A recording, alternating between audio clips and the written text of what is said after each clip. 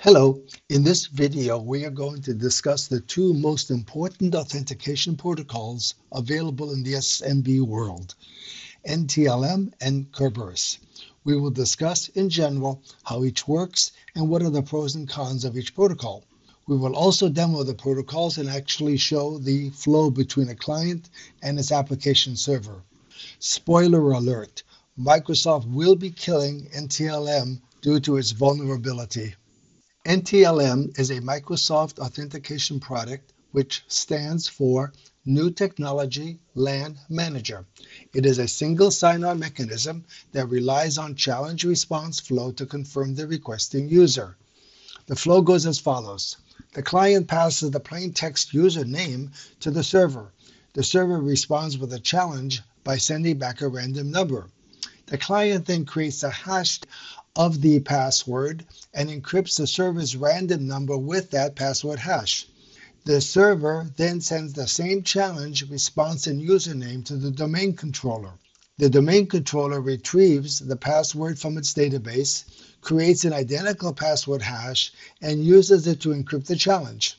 The information is then returned to the server, which compares the encrypted challenge from the client against the encrypted challenge from the domain controller. If they match, then the user is authenticated. NTLM has a number of vulnerabilities. They include the fact that the encryption algorithms used by NTLM are old. Passing password hash values across the internet is a major security problem. And there is no server authentication, which allows, therefore, for relay attacks. Here we see Wireshark output from the side of the client where we are authenticating ourselves via the NTLM protocol to a server. We initialize the connection by sending out this negotiate packet. We receive a response from the server with a challenge. That challenge includes the special uh, random number that we will have to encrypt using our password hashed value. So that is done over here where we respond back to the server. We send out the username and the domain name and the encrypted version of what we received from the server. The server then compares that information with what it calculates by speaking to the domain controller and responds here back to the user telling us that indeed we were authenticated successfully.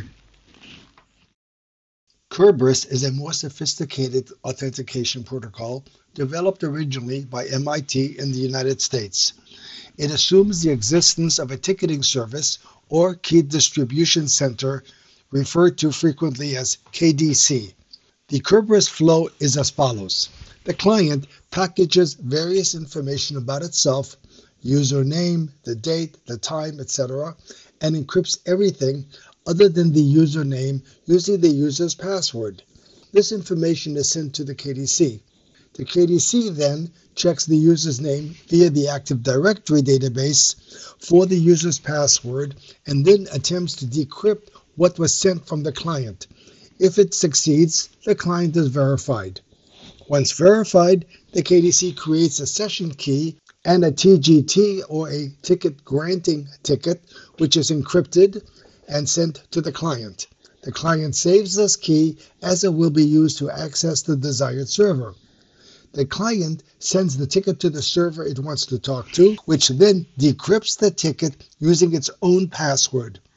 If successful, the ticket is valid and the client's permissions can then be inspected to determine what access rights it has on that server.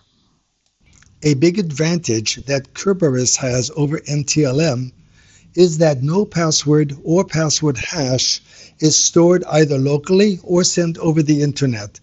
In addition, multi-factor authentication is supported, as well as stronger cryptography.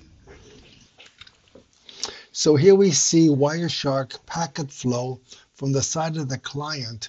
We're trying to connect from ourselves here, which is at um, 167, to our server, and we're going to use Kerberos for authentication. So at this point, we want to send a request to the Kerberos KDC. Note here we're having we're seeing three identical requests. These are more technical and are not overly related to Kerberos. For example, here we're trying to use, as you can see here, UDP, and that's being rejected as the response is too large. So this time we switch around and we're using TCP protocol instead. But at any rate, this is the initial request where we, we send our information of our basic, our basic user information to the KDC, which is at 78.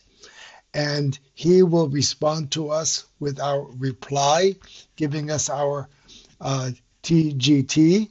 And at this point, we will now send a request for a particular ticket for a, a server. And that server will be the one that we're connecting to over here. And at this point, we get the response to that and the information that we got back, the uh, ticket information is used at the uh, server that we want to talk to to tell the server that we have authenticated correctly. One of the problems with Kerberos is that the client has to be able to communicate with the Kerberos KDC. But what if it cannot? This has been a problem with using Kerberos for authentication. Microsoft acknowledged the need for a solution and is a must-have to encourage migration from NTLM, and as such, introduced two extensions to solve this problem. The first solution, IA Kerb, which stands for Initial and Pass-Through Authentication for Kerberos, addresses the scenarios where clients have visibility of the application server but not the KDC. IA Kerb allows the target server to function as a proxy, securely relaying Kerberos messages between the client and the KDC. IA Kerb also acts as a prerequisite for Microsoft's other innovative feature, Local KDC.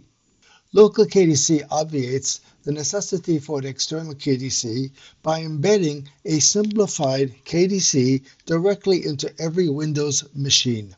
This simplifies authentication, enabling clients to authenticate directly with target devices, even in workgroup scenarios and peer-to-peer contexts.